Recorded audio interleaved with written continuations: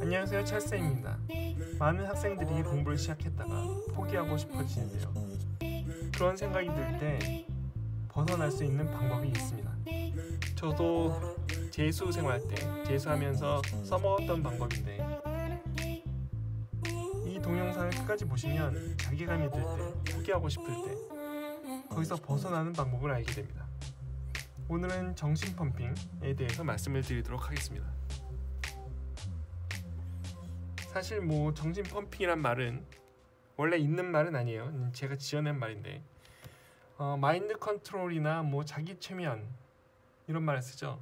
근데 좀 부정적인 의미가 들어있는 것 같아요. 마인드 컨트롤 마음을 조정하죠. 네, 뭔가 조정당하고 조정하고 네, 좀 부정적인 의미가 있어서 제가 말을 새로 붙여봤어요. 정신 펌핑 뭐 한다는 얘기예요? 정신에 네, 이렇게 막 펌핑을 해서 에너지를 부어 불어 넣는 거죠. 그래서 흔히 펌핑이 에너지가 낮은 상태에 있는 걸 에너지가 높은 상태로 올리는 걸 펌핑이라 그래요. 네. 그런데요, 이거 영어로 말하면 뭐 이런 거죠. Keeping up my spirit.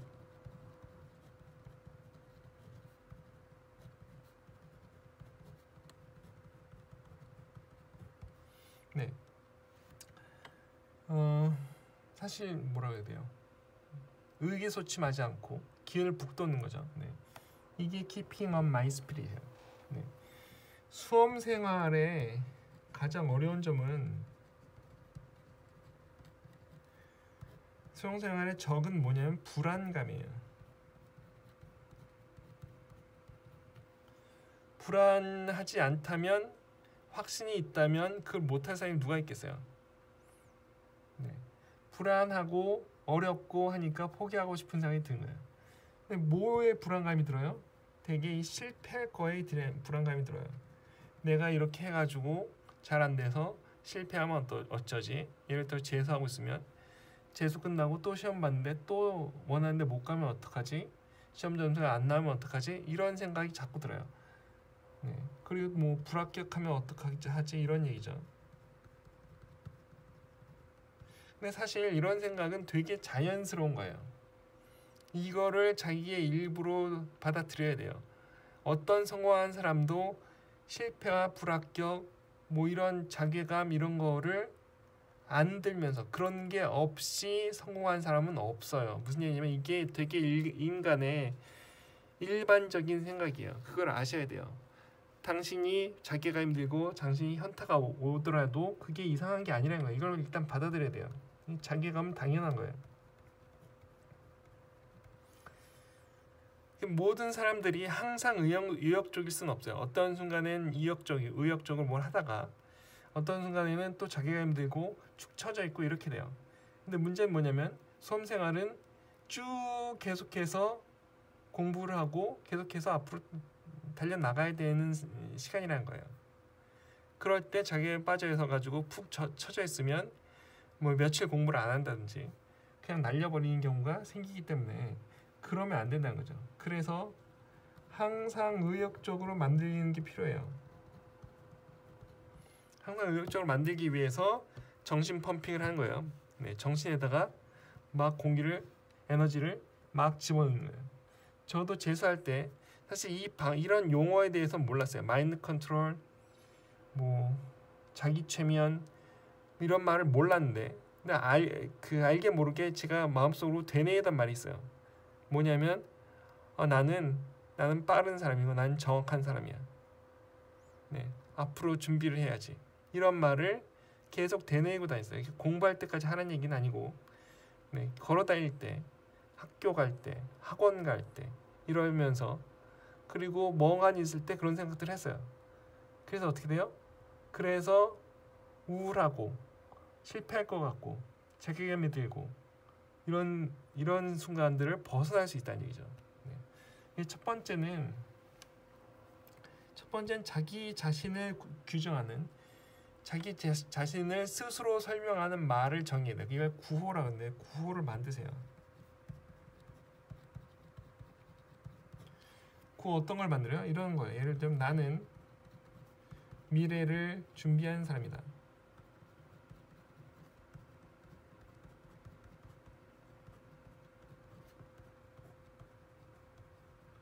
네, 나는 미래를 준비하는 사람이다. 이런 거 아니면 나는 강한 추진력을 가진 사람이다.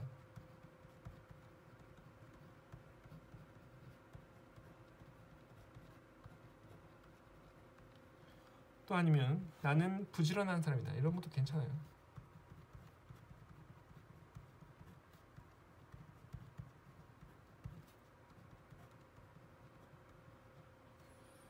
그리고 나는 앞일을 내다보는 사람이다.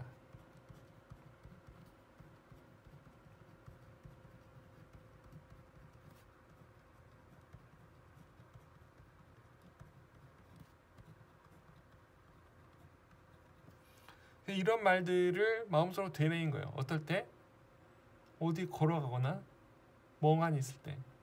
그래서 자기 자신에 대해서 정의를 한 거예요. 그리고 자기 마, 마음을 불안감에서 밀어내는 준비를 하는 거예요. 이게 이게 1단계예요. 구호를 만드셔야 되고 일단 네, 긍정적인 구호면 돼요. 네. 자기감이 들면 되게 어떻게 돼? 반대로 생각하죠. 내가 아나 나 같은 게 해서 뭐가 돼? 될 게 없지. 맨날 실패고 저번에 잘 안 됐고 이런 생각하면 안 된다는 얘기야. 이렇게 자기 자신에 대해서 긍정적으로 정의를 하고 그 다음에 네, 더 앞으로 나갈 생각을 할 수 있는 거죠. 첫 번째는 구호를 만드세요. 구호를 자기만의 구호를 만들어서 긍정적으로 자기 마인드, mindset을 준비할 필요가 있어요. 두 번째는 뭐냐면 명언이나 좌우명을 하나 정하세요. 2번 명언, 좌우명을 하나 정해서 책상 앞에 써붙여 놓는다든지 아니면 뭐 수첩에 써놓고 다닌다든지 이렇게 해서 자주 볼 수 있게 하는 거예요. 저 같은 경우에는 어, 3일 독립선서에 있는 구문을 구절을 구절을 그 써붙여 놓고 맨날 되뇌고 다녔는데 제일 끝에 그 구절에 제일 끝, 끝에 뭐라고 되어 있냐면 독립선서에 시작이 곧 성공이라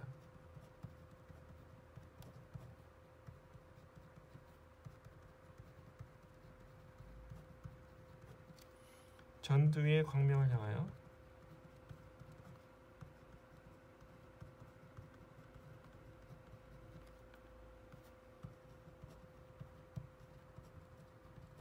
맥진할 따른 민족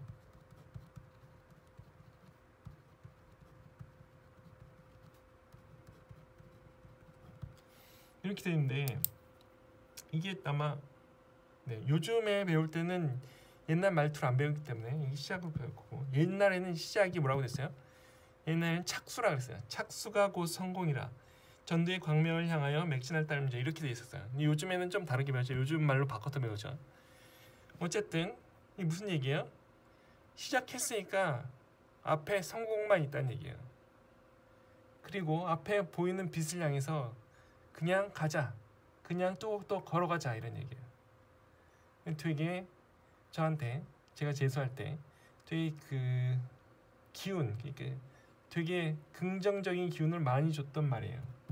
요거 되게 그래서 아직까지도 기억하고 있는 말이고 아직까지도 계속 음, 가끔씩 가끔씩 머릿속으로 되뇌는 말이에요.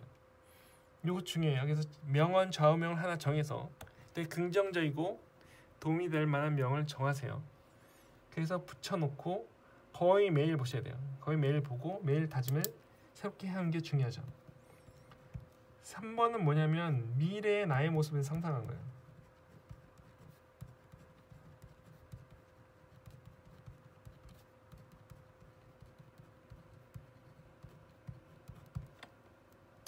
그래서 예를 들어서 뭐 재수하고 있다 아니면 고3이다 그럼 어떻게 해요? 그럼 캠퍼스에서 대학 대학을 가서 대학 캠퍼스에서 어 거니는 모습, 수업을 바로 받으러 가는 모습, 친구들과 점심 먹는 모습 이런 걸 상상해요. 앞으로 이렇게 될 거다라고 머릿속 그려봐요. 그러면서 어떻게 해요? 자기를 더 긍정적으로 다시 만드는 거예요. 그리고 또 뭐 MT 가서 놀러 가서 어, 어떻게 놀지 뭐 이런 생각도 하세요. 되게 긍정적이고 밝은 분위기로 자기 마인드를 자꾸 바꿔놓는 거예요. 미래를 상상, 상상해가지고 미래를 자꾸 상상하면서 그게 될 수 있는 꿈으로 자꾸 자꾸 마음속에 넣어놔야지 나중에 실제로 그렇게 될 수 있다는 얘기예요. 이게 되게 중요해요. 미래의 자기 나의 모습을 상상하면 해야 돼요. 그 다음에 4번 마지막으로 다시 현실로 돌아와야 돼요. 그래서 뭐예요? 오늘 해야 할 일을 다시 생각해요.